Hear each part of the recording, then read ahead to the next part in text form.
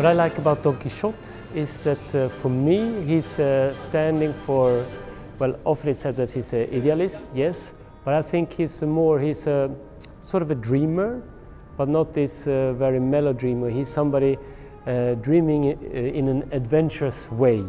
So he has a lot of fantasies. He's tried to uh, color the world he's living in and he's inventing things to make the daily more exciting. We all know Massenet for uh, Werther, of course, and, and, Manon, the two masterpieces that stayed in the repertoire. We forget that uh, Massenet was the most successful composer of his time, at least in France. Don Quixote has a special place in his heart. This is a piece uh, that has a lot of moments of uh, panache, folklore. It's the French image of a certain Spain.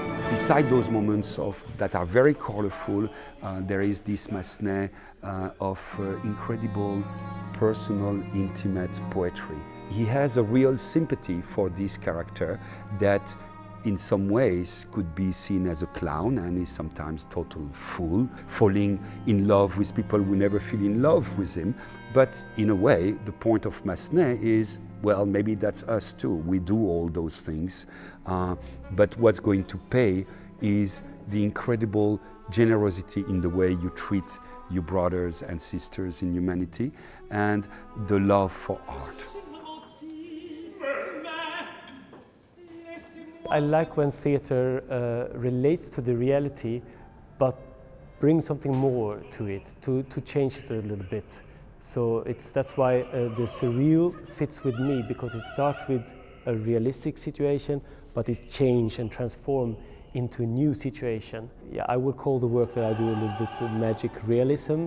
So it's connected to the reality, but it's not the reality. I try to enhance it and hopefully emotionally be able to tell something more about our daily life or how human beings are uh, related to each other.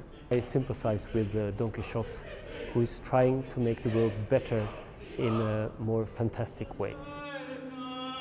And it's a piece that's very dear to my heart. We're having a great time rehearsing it. Uh, it's a very interesting production. It's a fantastic cast. Uh, so I can't wait to, to, to perform it.